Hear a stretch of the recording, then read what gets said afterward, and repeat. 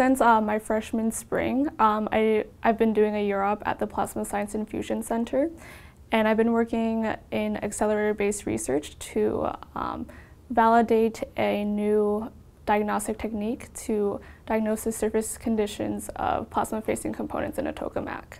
Fusion energy kind of promises um, perhaps like unlimited energy, so much energy that's basically unlimited. And um, so what we're trying to do is improve the diagnostic techniques used currently so we can um, see how the components are doing. Current um, techniques used to uh, diagnose surface conditions are all ex situ, so we have to take out the components and then test them.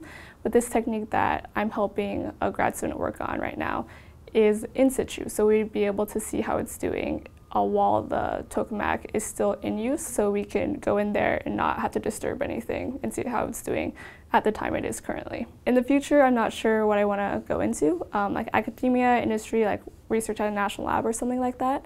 Um, right now I'm trying a lot of different classes. I'm trying some um, like thermo classes, reactor design classes, just to see what I like. When I was in high school, I was often told that I couldn't, you know, I shouldn't be an engineer or I wouldn't be able to be an engineer just because I am a woman.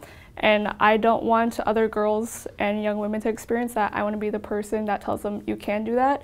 And even if everyone's not on their side, I'm on your side. I participate in a lot of science and engineering festivals um, to get like girls interested in STEM. And so once I was helping a little girl like build a mini catapult, she turned to me and she said, "This is so cool. Like I was going to ask for a robot for Christmas, but now I want to build a robot."